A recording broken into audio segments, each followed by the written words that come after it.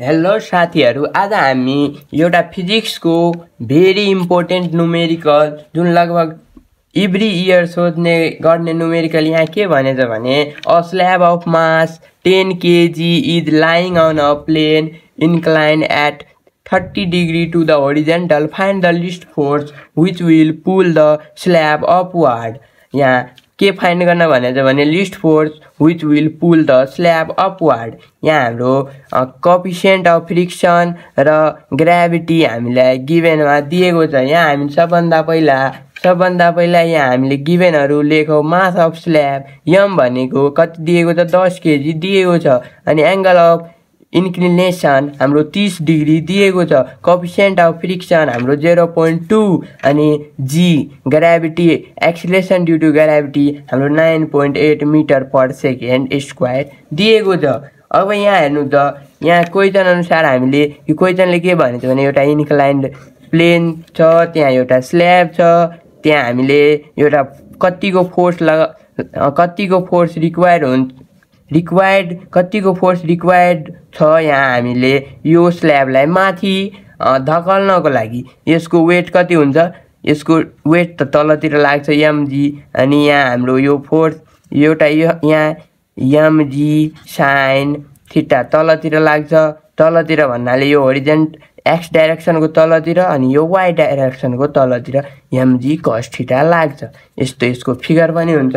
अब तपाईँहरूले फिगरबाट पनि बुझ्न सक्नुहुन्छ।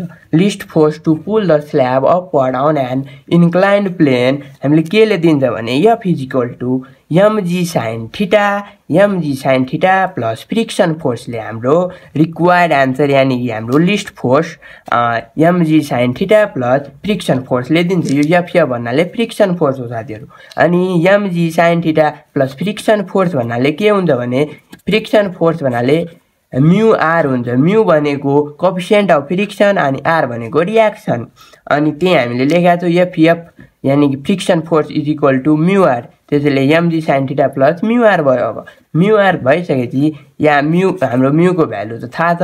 आर भनेको के हुन्छ भने आर रियाक्सन यहाँ रियाक्सन भनेको यहाँ यो फिगर अनुसार रियाक्सन भनेको के हुन्छ भने हाम्रो एमजी कस्ट ठिटा हुन्छ। एमजी कस्ट ठिटा हुन्छ। त्यही हामीले आरको ठाउँमा अब एमजी कस थिटा हालेको छु M G sine theta plus mu mu चाहिँ यो M G cos theta. Mu M G cos theta अनि यहाँ हेर्नु। योमा पनि एमजी योमा पनि एमजी छ।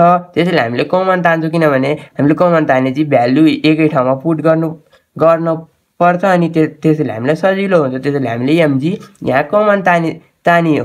तानिलियो हामीले यहाँ कम अनि एमजी एमजी कमन तानेपछि हाम्रो के के बाँकी बस्यो यहाँ? साइन ठिटा अनि यहाँ म्यु कस ठिटा साइन ठिटा यहाँ कति दिएको छ?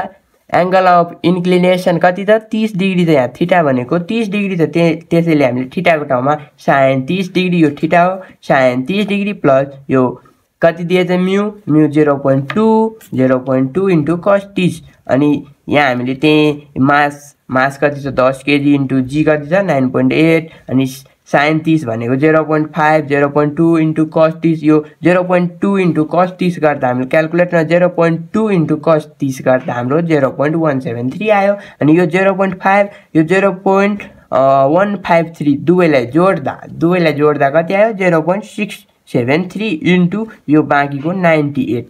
यो र योलाई मल्टिप्लाई गर्दा हाम्रो required answer sixty five point seven newton जुन हाम्रो least force sixty five point seven newton आयो। यही हाम्रो रिक्वायर्ड एन्सर हो। यति गर्दा हाम्रो यो चार मार्क्समा सोधिने क्वेसन हो चारमा चार आउँछ। Thank you for watching